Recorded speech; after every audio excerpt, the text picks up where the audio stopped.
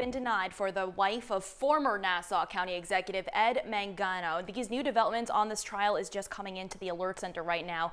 Linda Mangano was sentenced to 15 months in jail, now without bail. The Manganos were both convicted three years ago for accepting bribes, and Linda was found guilty of obstructing justice and lying to the FBI. She had a no-show job through the same businessman through which she collected $450,000. Now, Mangano will have to surrender on Friday to begin serving her 15-month sentence.